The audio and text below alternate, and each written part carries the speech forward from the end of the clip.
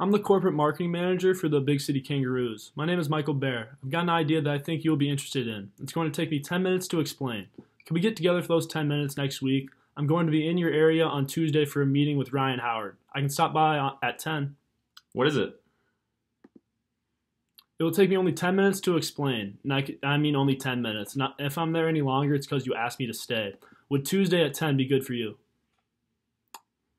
Can you tell me over the phone? I would like to tell you over the phone, but I have something I want to show you. It will take me 10 minutes, and then you can judge for yourself. I want to show you what dozens of other companies are using and are very happy with it, having tremendous success growing their business. I guarantee it will take me just 10 minutes unless you ask me to stay. How about 10 a.m. next Tuesday? Uh, I don't know. I'm not interested. That's precisely why I called you, Mr. Scott. Many of the people that I've talked to weren't interested at first, but after I explained how we could help increase their business, they appreciated that we got together. I need just 10 minutes. Would Tuesday at 10 be good for you? I don't know, Michael. I'm still not interested. You're probably not interested because what I'm saying sounds so crazy. Well, what if I increase your sales by 10% over the next six months?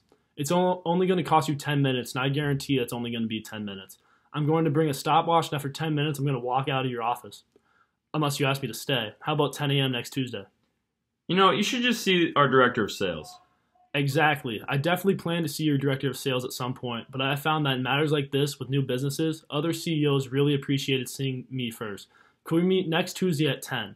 I'm meeting with Jan Levinson at 9:30 and can stop by right after. You know, I, I think I'll just buy from StubHub when I need tickets.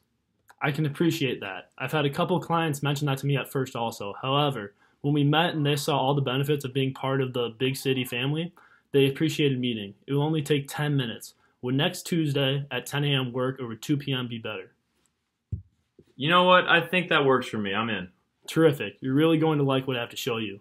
I've got you down in my book for next Tuesday at 10. Is that what you have in yours? Yep. That's what I got. I can give you an email address. I'll send you a reminder confirmation.